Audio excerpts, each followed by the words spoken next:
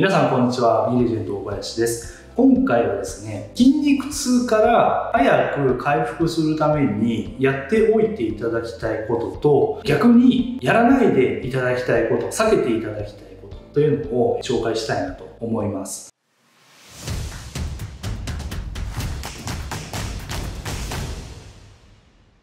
まあ、筋肉痛が来るとね、こう筋トレ頑張ったなとかですね、なんか筋肉成長してるなっていう感じがあってですね、ちょっとまあやった感があって嬉しいっていう方もいると思うんですけども、あんまり強烈な筋肉痛が来ると、やっぱり動くだけ、歩くだけでもちょっとね、痛くてしんどかったりとか、次のトレーニングの日になっても筋肉痛が続いてたりすると、気になってですね、動きが悪くなったりとかして嫌じゃないですか。ということで、なるべく早く筋肉痛を回復させるためにやっていただきたいことと、逆にこれをやるとあんまり良くないので、やめておいていただきたいなっていうことをご紹介させていただければなと思います。で、まずですね、簡単に筋肉痛の仕組みについてさらっと説明をさせていただきたいんですけども、実は筋肉痛っていうのはなぜ起こるのか解明されていません。なので、筋痛が来るから筋肥大するとか筋肉痛が来ないようなトレーニングでは筋肉が成長しないということはありえません。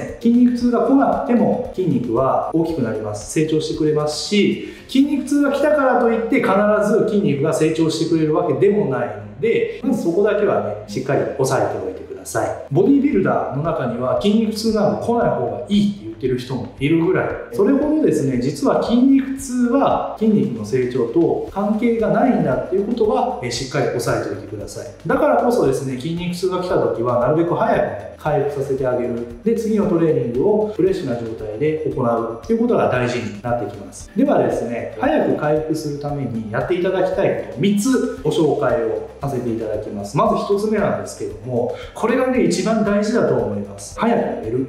睡眠時間を長くとるっていうことですね。まあ、やっぱりですね、回復の基本はですね、睡眠なんですね。長く睡眠時間を取れれば取れるほど、早くですね、体も回復しますし、筋肉痛も取れるのが早くなりますので、夜はベッドに入ったらスマホを見ずにもう目を閉じるとかですね。なるべく早くですねベッドに入るとかしっかり意識をしていただいて少しでも長く睡眠時間をとるように気をつけていただければなと思います。そして2つ目なんですけどもタンパク質をしっかり摂取するということですね。回復っていうのは先ほど説明した睡眠と合わせて栄養摂取というのも非常に大事になってきます。筋肉痛が起きるぐらいのしっかりね刺激が体に加わっている状態というのは筋肉もやはり多かれ少なかれですねちょっと傷ついてダメージを受けている。状態なので体はそれを修復しようとするわけなんですよね。でその時に材料になるタンパク質が不足していると回復が遅くなってしまいますので、まあ、しっかりですね体重 1kg につき 2g ぐらいのタンパク質はきっちりと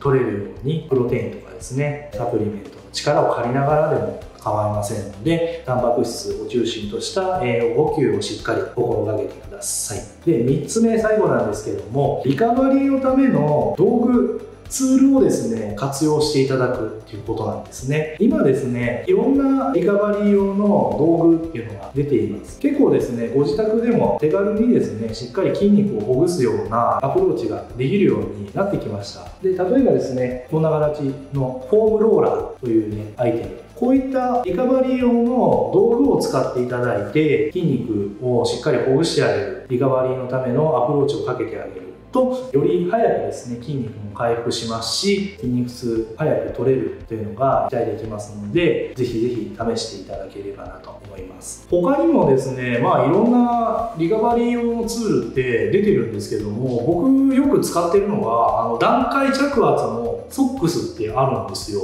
足首に近いところの圧が一番強くてそこからこうふくらはぎにかけて圧がだんだん弱まってくるんですよ。でそうすることでこう血流を足からこう心臓の方にしっかり戻してあげてで心臓から新鮮な栄養をたっぷり含んだ血液をこう足の方にしっかり流してあげる。ポンプ作用を高めてくれるような作用がありまして特に足トレをやった日の夜とかですねその次の日くらいもしっかり夜寝る時にですね履いておくと結構ですね疲労感違います。ちょっと興味のある方はねいろいろ検索してみるといいんじゃないかなと思います。逆にですね筋肉痛から早く回復するために避けておいた方がいいことを2つご紹介させていただくんですけどもこれは筋肉痛から回復するというよりはトレーニングのダメージから回復するというふうに捉えていただきたいんですけどもまずはですね痛み止めを飲むっていうことですね。筋肉痛めちゃくちゃ強く出た時なんかはもう歩くだけでもものすごい体が痛くてですねもう痛み止め飲みたくなる時もあったりするんですけども実はこの痛み止めで炎症を無理やり抑えてしまう。と筋肥大の効率が実は落ちてしまうっていうのが研究で分かってまして筋トレの後の炎症反応っていうのは実はですね悪いことばかりではなくて筋肥大を促進するためのシグナルになってるんですね。でそのシグナルを薬で抑えてしまうとそこからこう回復しろっていう指令も脳が出せなくなるんで、ね、回復も遅れてしまいますし筋肥大の反応も弱くなってしまうので一時的にね痛みは収まって楽になるかもしれないんですけども根本的な解決にはなってないなっていうことはしっかり覚えておいてください。で2つ目なんですけどもこれもその筋肉の炎症に関わることなんですけども冷やすっていうことですね。筋肉を冷やすっていうのも実はあんまり良くないっていうのが分かってましてよくですねスポーツ選手が試合後にやったりするんですけどもアイスバスといって氷を張ったお風呂の中にザブーンと入って全身をね冷やしてあげるとかですね。それにプラスしてこう交代浴といってですね氷を張った冷たいお風呂に入って筋肉を冷やした後ですぐに今度はお湯の入ったお風呂に使って温めるっていうのをこう交互に繰り返してですね体の炎症を取ってあげる。っていうようなアプローチが実はあったりするんですけどもこれも実はですね炎症自体は抑えられるんですけども痛み止めと一緒でこの炎症反応を抑えてしまうことで筋肥大の効率が落ちてしまうっていうことが実は明らかになってますので筋肉を大きくしていきたいとか筋肥大させたいっていう目的でトレーニングをしている方なんかはあんまりねトレーニング後に筋肉を冷やすっていうことはやめておいた方がいいと思います。こういうアイスバスとか交代浴っていうのは、まあ、どういう方に有効かっていうと、まあ、本当にスポーツ選手とかで試合がもうね連日続くような時とかですねとにかくやっぱり炎症を早く取ってあげて体のコンディションを戻してあげることを最優先に